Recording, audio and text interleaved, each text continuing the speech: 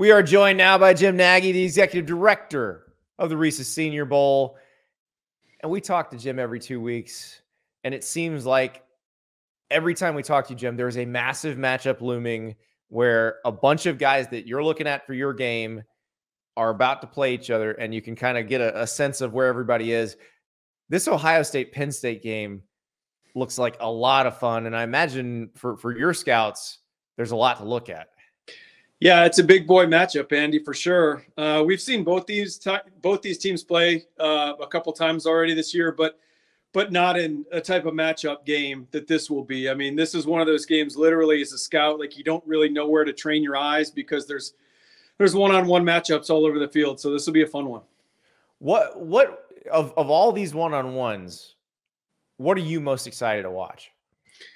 Oh man, uh, there are some good ones. Obviously, the the offensive tackles for for Penn State, Olu Fashanu is is a great one, and everyone talks about Olu. But Caedan Wallace is a really good player as well. Uh, you know, in the trenches there against Ty Hamilton. Was watching a lot of that Ohio State defense um, last night. So Ty Hamilton's a really good player. We had his brother here in the Senior Bowl a couple years ago. Uh, Davon Hamilton, great player for Jacksonville oh, yeah. Jaguars now. Um, but then on the second level, like Steele Chambers, Tommy Eichenberg, um, they're two safeties who are going to be up there near the box. Josh Proctor's having a, you know, a really cool bounce back um, season after a little bit of a down year last year. Uh, Lathan Ransom has taken a nice step forward this year as a player. So um, some of the trench work, I think, will uh, be focused in on uh, on the guys inside. The the Penn State defense seems to have have really carried them this far. Who who on that group do, do you are you looking at? I know that they've got some younger guys, you know, Chop Robinson, Abdul Carter, Kalen King, who are, are not necessarily seniors yet, but who are the older guys that that you've been impressed by?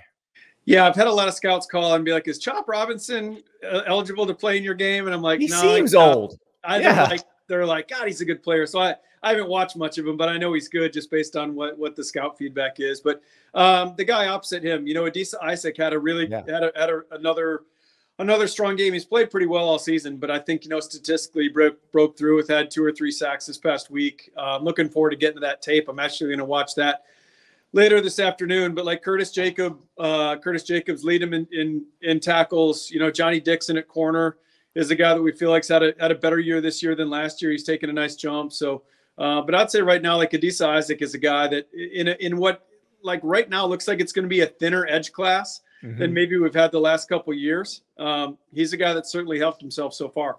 So I, I don't know what this means in the scouting world. We learned this about Adisa at Big Ten Media Day. Does not eat shrimp. Not Ooh. shrimp guy. Jeez, and that's not uh, that's not good for coming down here on the Gulf Coast. I thought we, you know, usually usually we win guys over with uh with our with our Gulf seafood once we get them down here. So we will. Well, uh, it, it might have been that it was at St. Elmo and covered in the in the horseradish sauce. So we, we, I think you got a shot. You you you take him for some good barbecued shrimp, head on kind of thing.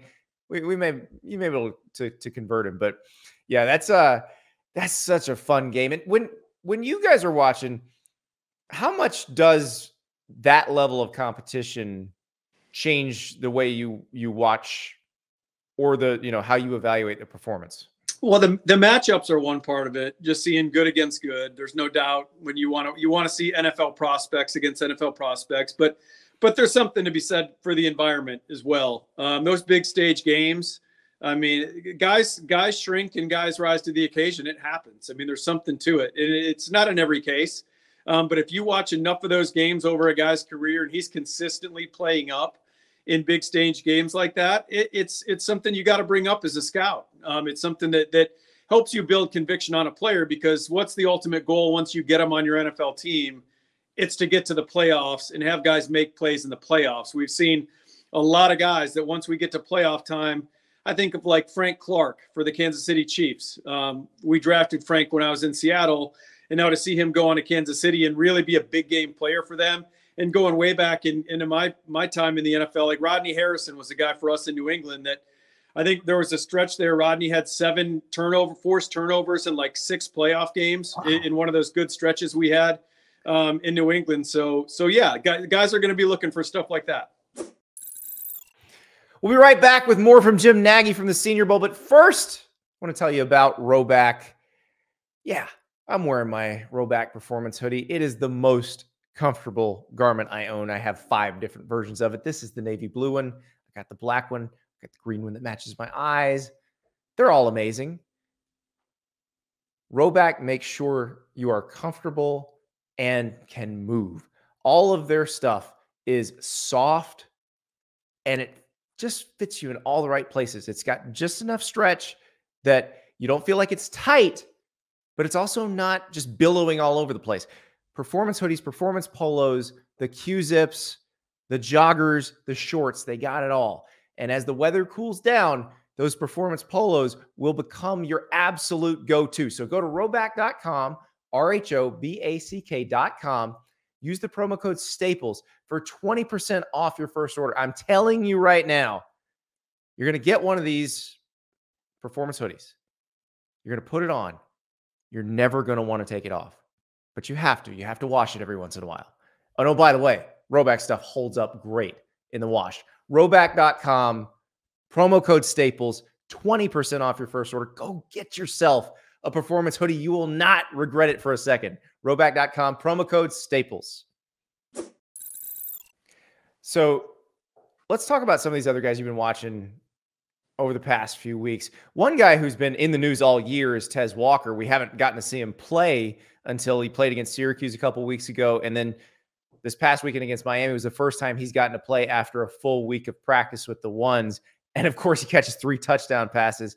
Uh, I imagine you you'd seen Kent State tape on him, but but what did you think of his first uh, first full outing for North Carolina? Well, just amazing that he can come back. Um, you would think he would be rusty. Um, that certainly wasn't the case. Uh, yeah, we like the Kent State tape. I mean, there was again there were some cool play games for them last year when they played at Georgia, uh, and he and he caught a, a, a quick hitch and took it to the house against a fast Georgia defense. So we knew he was explosive. He can get down the field and make plays. And then when you have a deep ball thrower um, like like Drake Maye that can really play to your strengths as a player, I mean that's that's a great marriage right there. So it didn't surprise us uh, that Tez can make an impact like that. We thought he would going into the season, but coming off that long rest and that break and just having that chemistry um, was really cool to see. Yeah, three touchdowns in the in the first game back was that was pretty huge. So let, us keep it in the ACC. Another guy that that you guys seem pretty high on is uh, is MJ Devonshire, the DB from Pittsburgh. He had a huge play in that win against Louisville this weekend. What what have you liked about him? Yeah, MJ is a guy that uh, you know we've just been looking for some more consistency with. And, and, again, the other night, like we, he was one of our players of the week this week, but it wasn't perfect. It wasn't a perfect game. He he gave up a touchdown early. He had a PI in another red zone series early. Um, but what in, in a great matchup against against Jamari Thrash from Louisville, mm-hmm. who's had an awesome year since transferring over from from Georgia State, one of the best receiver, your senior receivers in this year's draft class. Um, but to see MJ battle back and battle through that adversity, he had five PBUs the other night. I mean, that's wow. I mean, that's a lot. I mean, that's that's a season for some guys to get their hands on five balls, and and they were testing him down the field. And, and Thrash can really run. Um, and so for him to make plays down the field and show up in coverage and and really show the NFL that short memory that you're going to need to have to play at that level, um, it was a cool game. It was a cool game because it wasn't perfect. Um, it was a bad weather game. Footing wasn't great, um, and just the just the mental resiliency to come back against another good NFL future NFL player um, in battle. Um, that's what you want to see. So one of the guys I forgot to ask you about in the Ohio State Penn State matchup is is Cade Stover who's a, you've seen you guys put out some stuff on him. He's fascinating to me because he's a tight end uh, in an offense that features some great receivers, where the the targets for the tight end probably are going to be a little bit down because you can throw to Marvin Harrison Jr. you can throw to Emeka Egbuka. But it does seem like Cade, more than any of the, the, the recent Ohio State tight ends, is a pretty big contributor in the pass game.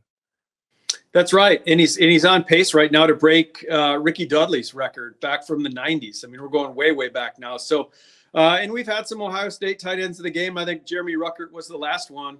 Uh, but you know, with Cade, to me, the difference this year with Cade, he looks a little quicker. Um, again, without talking to the strength staff up there, I, I don't know what goes into that, but some guys just come back for their last year and, and they look a little different as a player. And sometimes that's technique. Sometimes they look like better athletes. Um, and Cade's always been a good athlete. He was a big time high school running back. He was Mr. Football in the state of Ohio.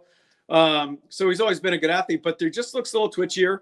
And then uh, I think, you know, big picture with him as a prospect, what NFL teams are really going to like is the guy played linebacker. I mean, he's got like four starts at linebacker and a couple starts at defensive end over his time at Ohio State, and he's played over 500 special team snaps. So, uh, you know, those are those are going to be big time things when you get into April and you start stacking that tight end group um, and where it shakes down. One, he can put his hand in the dirt. He's a tough kid. He's a farm kid. Um, yep. He's like you said, he's on pace to break the the Ohio State receiving record for tight ends and he's played in the kicking game and he's played on defense. So there's a lot to like with Cade. Yeah, he he fills the farm kid quota that that Cody Mauch filled last year for you guys. Yeah, so, yeah, he, he yeah, you gotta, you gotta have the guy who grew up on the farm. So uh, another guy that that looked pretty good this past week, uh, Missouri edge Darius Robinson.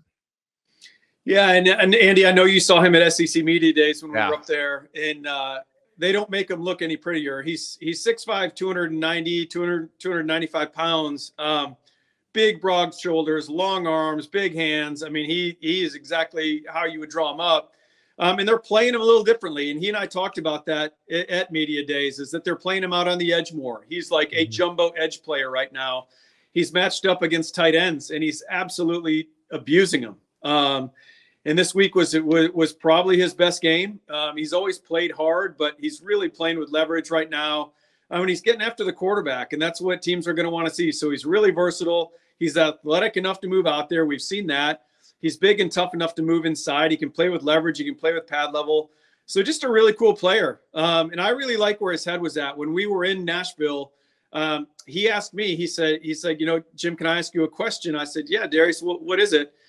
He's like, why didn't I get an invite to the Senior Bowl last year? Um, and, and, and I told him, I said, Darius, I just revisited all your tape before I came up here, and man, I I don't have a great reason for you, man. You're you're right there at the cut line, and you're definitely good enough to get in. Um, and it was just the way he asked the question, man. It was yeah. it was he's focused, he's locked in, so it's cool to see him playing the way he's playing this year as a senior. Are you seeing more of that? That the heavier guys out on the edge, uh, you know, like we saw Landon Jackson dominate this weekend for Arkansas. Now he's six seven, so he he can carry a little more weight. But Kentucky's used Deone Walker out there, and I, he's not he's a guy who's a little young for your game, but he's a he's a 330 pound guy that they'll play on the edge sometimes. Is it is that to create a mismatch? I, it, certainly, and I just think we're seeing bigger, more athletic people, man. I just think it's you know over the last ten years. I mean, these guys just keep getting bigger and, and more athletic, and and it does. It creates a mismatch if you if you want a guy that you can find bigger body, thicker bodied guys can sit sit in there and, and muck it up inside. What you can't find is is guys with length. I mean, that have quickness that can play out there. And that's the thing that Darius showed the other day is that um, could you find it maybe a little faster guy out there that can close from the backside, but but just with his range, just with his reach and the range he has, the, the length of his frame, I mean, it's hard to get outside of them. I mean, if you're trying yeah. to if you're trying to set an edge and you got a guy that can manhandle tight ends, um, that is a cool matchup for sure. Yeah, I can't imagine trying to reach block somebody with that kind of wingspan. It's just it's not he's just reaching around you. So uh, one guy that that everybody was talking about over the weekend, it was the, the the focus, you know, the game everybody was focusing on, Michael Penix Jr. And he's one that I, I've wondered about from you guys' standpoint because you look at things a little bit differently than than say the the average college football fan looks at it. We look at Michael Penix and he's just putting up these gaudy numbers and it's crazy. You're looking at him from a, a scout standpoint where he's got the medicals from three season-ending injuries. How is is he, you know, kind of faring right now? And is he increasing his draft stock? He absolutely is. And last week was a really big game for him. Um, you know, going into that game, I, I read some stat that going into last Saturday, Bo Nix was the least pressured quarterback um, in college football, and I think Michael Penix Jr. was like the fifth least pressured quarterback. So, again, a lot. You turned on the tape up up to last Saturday. It was a lot of pitch and catch stuff, um, and you so what you saw in that game was both defenses kind of heated those guys up. Both those defenses, Oregon and Washington, have have future NFL dudes on their team. Um, and so Michael, I mean, he kept doing what he's been doing just against better people um, and doing it with people in his space um, and, in the tighter windows with good coverage from guys like Khyree Jackson on the Oregon side. So um, yeah, like you brought up the medical and, and and some of that other stuff, and the age I think is going to come into play for NFL teams when they're stacking this thing. Um, but man, he's doing all he can do right now in that offense. And yeah, you can make an argument he's, he's got great playmakers, and a lot was made on ESPN over the weekend of, where those three receivers rank, maybe the best in college football. Uh, but Michael Penix Jr. to put the ball where he does down the field and that quick strike ability, man, is is uh, it's a really cool thing to have. And when when when Oregon went for it on fourth late in the game, and they let Michael Penix get back out there in a minute and a half, and then boom, boom, two plays later, the in the end zone. I mean, that to me, that was the Washington offense, and that was Michael Penix Jr. in a nutshell. I mean, it's that quick strike, explosive ability. And if you're an NFL team, who wouldn't want that? You know, like to me, yeah. I always think, what, what, what, where would Al Davis take this guy if Al Davis, uh, God rest his soul, were still Maybe with a little, us? A little higher this, than anybody else. Yeah, this guy, this guy would be the, the, you know, he'd be the Raiders' first round pick for sure. We gotta, we gotta talk about one of your guys you had last year though, Tyson Bagent, Shepherd College, D two. You were, you guys were on him in the preseason last year. He came, played your game he is going to start for the Bears this week because Justin Fields has a dislocated thumb. In honor of Tyson Bagent and yet another Senior Bowl success story, can you give us a couple small school gems that we need to be paying attention to right now this college football season? Well, I will say this: the uh, NIL in uh, portal is hurting the small school level in terms of uh, Senior Bowl. We, we we we don't like that. A lot of these guys are transferring up for their last year. But I'll throw a couple names at you. Jalyx Hunt um, mm. is a former Cornell player who's now at Houston Christian. Um, big, long edge guy, played safety um, in the Ivy League, and now he's kind of a big outside linebacker hybrid type player. Uh, we went and saw him play a few weeks ago at Southeastern Louisiana. Really intriguing dude, um, just from a length and traits perspective. He's the type of guy that everyone's kind of targeting right now in the fifth, sixth round. So he's Wait, he, he was a safety. He was a safety, and he's he just six four two fifty. I know, and he just keeps growing. So yeah, he's uh he's a cool one. Um, I'll bring and then like Dylan Laube, go to the other side of the ball. Dylan Laube, the running back at New Hampshire, um, who we kind of profiled earlier in the year, set an NCAA all divisions record for running backs. I think he had 12 or 13 catches for like 297 against Central Michigan early in the year, and he's and he's really the type of back that the NFL is looking for right now because you can line him up out in the slot. I mean, he's not just to leak him out of the backfield, you know, hit him in the screen game. He can legitimately run detached routes and get open and and track and catch the ball down the football field. So um, those are a couple. I mean, we we went through the small school list yesterday. Um, there's probably 10 to 12 guys that'll be in the mix. And again, we want to bring the guys the NFL want to see. So we'll have those conversations with the teams when we get to that stage of the process here in a few weeks. But uh, but yeah, I mean it's it's drying up a little bit because of portal. Right. Uh, you you would have a, you would have had a Johnny Cornelius in a Rhode Island helmet this That's right. But now everybody sees him playing for Oregon. That's right. That's a, that's a perfect example of a guy that, that would have been a, a guy for us at a small school and, and transferred up. So yeah, it's uh, it's drying up a little bit, but there's still if, if you watch these guys enough, there's still a lot of good small school players out there. That's I love I love it. I'm always like, how do they find this guy? And and you do it every year. So Jim, thank you so much. Yeah, Andy, good to see you, man. These uh, these two weeks always go by fast. Uh, enjoy the I week. Know, enjoy I'm... enjoy that Penn State Ohio State. That's going to be a great one. Cannot wait. Thank you so much for watching. Just a reminder, subscribe to this channel right here so you never miss an episode of Andy Staples on 3. And oh by the way, watch all the other great videos on the On3 Sports YouTube channel.